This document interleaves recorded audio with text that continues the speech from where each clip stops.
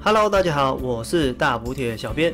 相信大家在今天这个台版的更新内容已经看到，说这个礼拜推出了一个新的纹样，叫做格兰肯纹样。但是这个影片呢，不是要跟大家介绍格兰肯纹样，因为我们之前已经介绍过了。你可以按右上角的这个资讯卡去看一下格兰肯纹样到底是什么样一个东西。好，那我们今天来讲的是格兰肯纹样，它需要的这个祝福点数其实是比以往的这些纹样还来得高。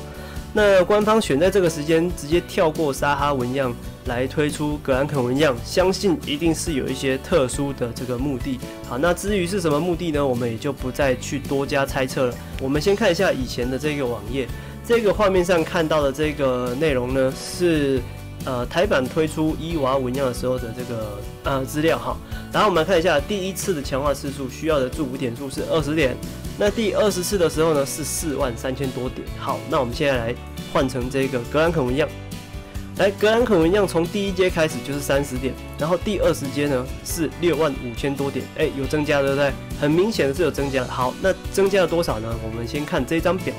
好，那这张表格是小编把它整理出来，左边是伊娃纹样，右边的话是格兰肯的纹样。来，我们来看一下啊。呃，从这个第一阶开始，你看到消耗点数原本是二十嘛，伊万纹样是二十，那格兰肯的话呢，它就是三十。好，那所有的这个点数我们把它相除哈，消耗点数把它相除，会发现每一次的强化所需要的点数都增加了百分之一百五十。好，从第一次到第二十次强化，全部都增加了一百五十趴。好，那这个表示什么意思？这个表示说你要投入一点五倍的这个成本，才能去做这些所谓的强化。那至于这些强化会不会有差呢？呃，其实或许来讲，有些人会觉得没有差，因为简单来讲，我们举个例子，我们先来看一下左边的这个伊娃。好，伊娃强化第八次的时候，累积消耗的点数是五千一百点。好，那这五千一百点如果对照到格兰肯的话，你会发现格兰肯只能强化到第七次。好，两个是有差一点，对不对？哦，格兰肯基本上你要上到第八次要七千六百五十点，所以。五千一点一百点，在格兰肯只能到第七次。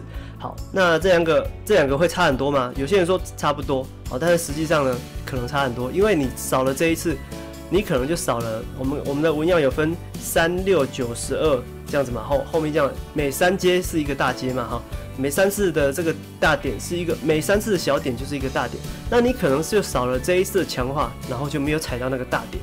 好，那这个其实对对于这个冲纹样的人来说。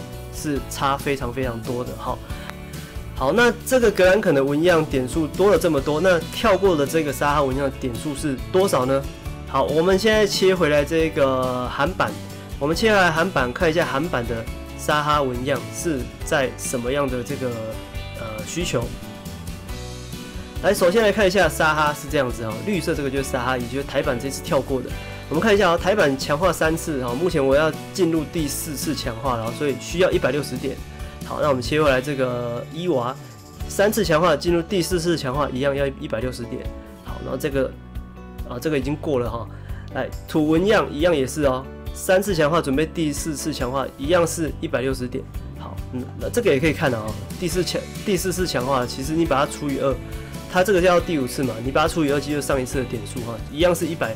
一百六十点，好，然后这边都是一百六嘛，所以这四个就是水纹样，然后这个火纹样、土纹样跟沙纹样，这四个都是一样的。好，然后这个呢就不一样了哦。如果你要上到像我现在要上到第三阶，我需要呃我需要一百二十点，那如果要到第四阶的时候呢，要两百四十点，好，要两百四十点，所以这个的话就差很多。如果我们以强化第二十次来讲哦，一个是总共累积需要三十三点六万。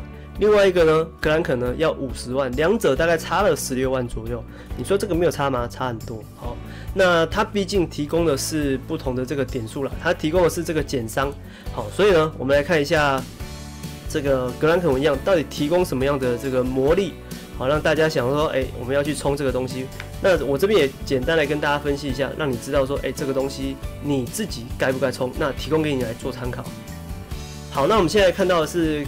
呃，格兰肯纹样的这个能力点数，这个是台版橘子官方的这个数据。来，我们看一下，到第三次强化的时候，哦，它强化阶段到第三阶的时候，就是第一个大点的时候，它就开始增加一趴的减伤。好，大家注意一下啊，这边的减少伤害，伤害减少，这个就减伤嘛，是一趴，不是一哦。